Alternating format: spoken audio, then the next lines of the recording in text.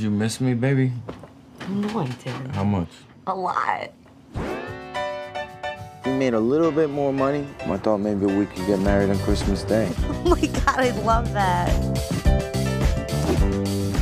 All we need is a grand, maybe 1500 bucks, and then we're over this hump, and then we could go back to business as usual. Those are our new bed sheets. It's a pillowcase. But it's part of a set. Cops aren't gonna care if we rip off some wise guys.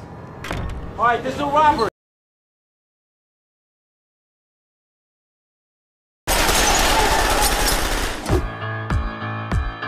They used to humiliate my father every day.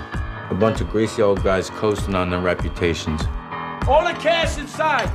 Come on. They're gonna kill him. I want everyone to strip. What? Go! Go! 30 years I've been doing this. I- I'm looking at the picture and I don't believe it. They got something that's gonna help us take down Big Al and put the final nail in the coffin of the whole mob. What I got? A list. This is the family tree. This is the entire Vazzalo family. You know what the feds would do for this? Who gave it up? Joey D. He had it in his wallet when the kid jacked him. He had it in his wallet?